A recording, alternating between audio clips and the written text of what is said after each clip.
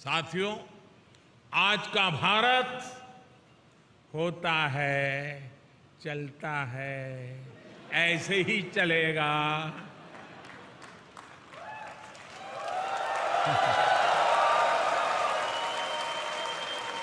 उस मानसिकता से बाहर निकल चुका है दोस्तों। आज का भारत की पहचान है, करना है। करना ही है और समय पर करना है।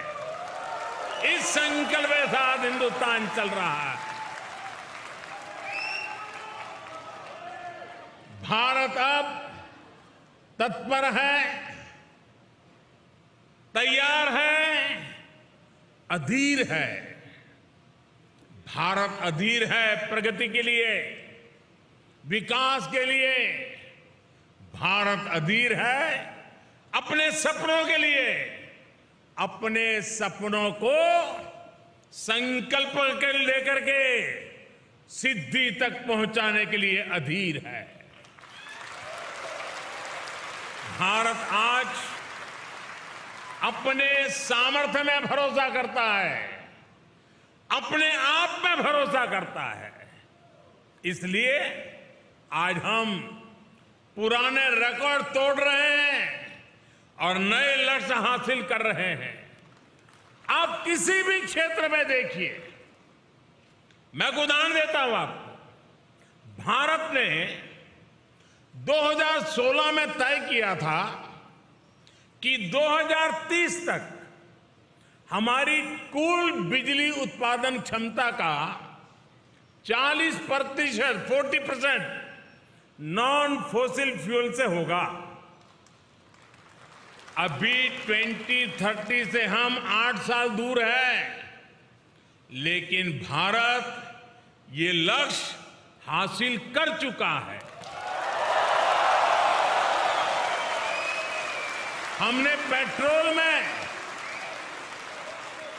हमने पेट्रोल में 10 प्रतिशत एथेनॉल ब्लेंडिंग का टारगेट रखा था। ये लक्ष्य भी देश ने डेड लाइन से पाँच महीने पहले ही हासिल कर लिया।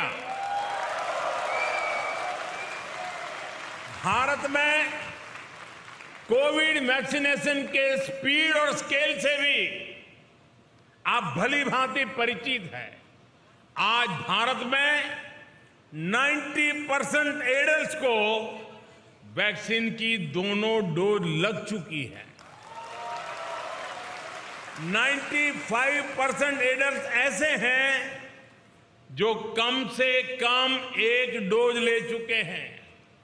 ये वही भारत है जिसके बारे में कुछ लोग कह रहे थे कि सवा अरब आबादी को वैक्सीन लगाने में 10-15 साल लग जाएँगे।